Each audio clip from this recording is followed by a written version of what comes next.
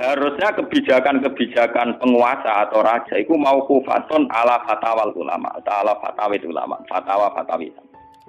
Raja atau penguasa itu kalau punya keputusan itu harus ikut pada garisnya ulama.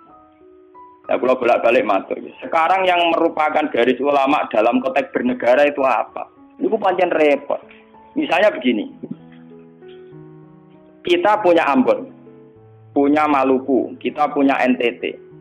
Ketika dipaksakan dulu piagam Jakarta yang memaksakan syariat Islam, tentu mereka akan menantang keluar dari Indonesia, NTT dan apa?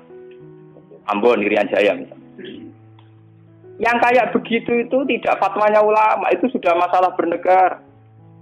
Nah, kalau nanti tanggal tiga kiai cara jenengan sebutikus, misalnya Indonesia memaksakan penerapan syariat Islam. Syariat Islam yang mana? Kalau syariat Islam formal mungkin kita akan mengatakan sebaiknya diterapkan syariat Islam. Tapi termasuk syariat Islam adalah menjaga peluang dakwah ini catat. Dan saya siap ketemu Allah dengan pendapat ini. Bayangkan kalau dipaksakan syariat Islam kemudian NTT keluar dari Indonesia Ambon. Kemungkinan kita dakwah di Ambon malah tidak ada. Juga kemungkinan Islamisasi di NTT malah tidak ada karena sudah keluar dari Indonesia. Indonesia. Mulai mulai dulu wali songo ambek maling ya apa? Ambek tukang zino ya apa? Ambek tukang dadu ya apa? Itu bukan berarti mereka tidak bisa bedakan hak dan batil.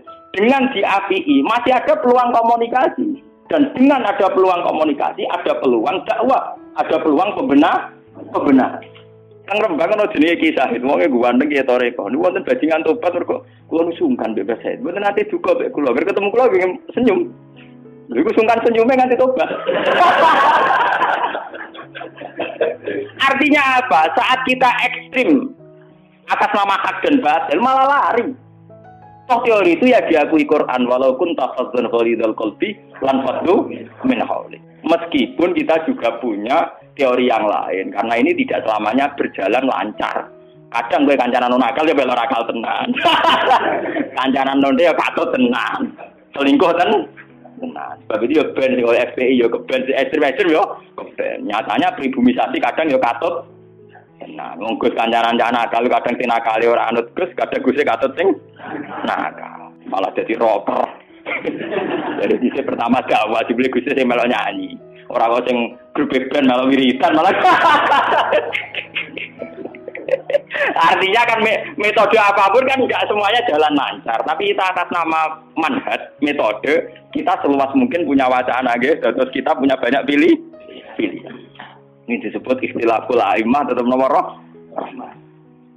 Makanya yang kamu maksud dengan syariat Islam itu apa? Kalau sering bilang, yaitu misalnya ditetapkan undang-undang gini. Setiap syariat Islam, kenapa kita ngemis ke negara? Nunggu diundangkan. Kapan kita mandiri sebagai ulama kalau setiap syariat Islam nunggu diun diundang? Kenapa setiap syariat Islam kita ngemis ke negara? Dulu ketika bubaran Ahmadiyah juga kita ngemis ke negara. Tanpa itu pun kita sebagai ulama tetap anti nopo Ahmadiyah.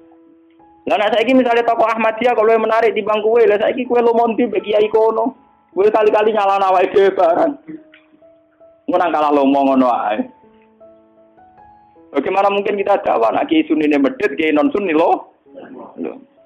Ketika wong lari ning aliran dari aliran apa ses? Engkau kan nanti hisap pangeran, itu melayu perkara kowe medit, ora perkara ora.